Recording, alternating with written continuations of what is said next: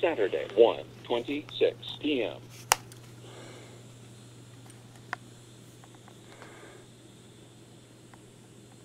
The National Weather Service in Oxnard has issued a warning for northwestern Los Angeles County and southwestern California, southwestern Ventura County and southwestern California until 5:45 p.m. Pacific Daylight Time. At 3:30 p.m. Pacific Daylight Time, a severe thunderstorm capable of producing a tornado was located near Los Angeles Airport, moving east at 30 miles per hour. Locations impacted include Glendale, Van Nuys, Granada Hills, Sylmar, Ventura, Ojai, Fillmore, Santa Paula, Desert, Tornado and Quarter Side Hill, Source, radar indicated location, impact, flying debris will be dangerous to those caught without shelter.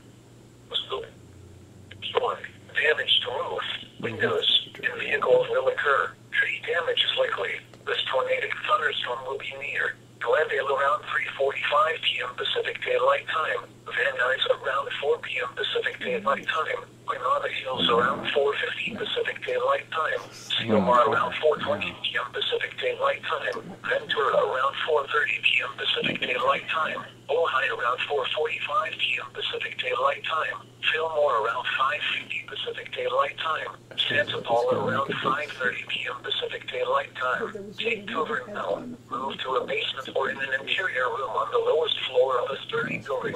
Avoid windows. If you are outdoors, in a mobile home, or in a vehicle, move to the closest shelter and protect yourself from flying debris. West. East, west, with north. So if it gets caught in this thing or it's going like this, then it, um,